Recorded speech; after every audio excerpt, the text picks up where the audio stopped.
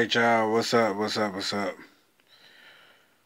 I wanted y'all to um I wanted y'all to get used to seeing my face real quick.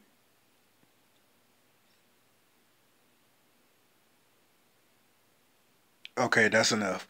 Um I wanted y'all to get used to seeing my face can, because in about five, maybe ten years, you know what I'm saying?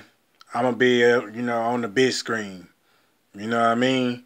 I want y'all just get familiar with this face, get familiar with my name, Joseph Robinson.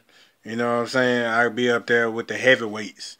You know what I mean? Denzel, Wesley, Forest Whitaker, all them. You know what I mean?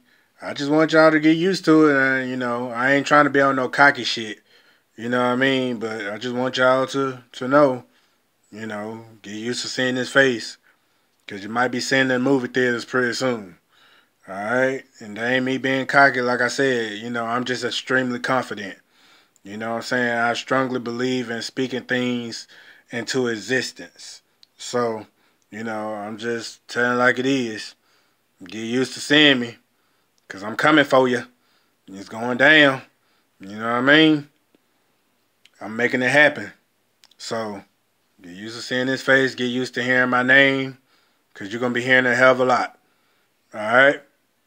Joseph Robinson. Simple. All right. Familiarize yourself with the face. Take a screenshot. Do whatever you gotta do. You know what I'm saying?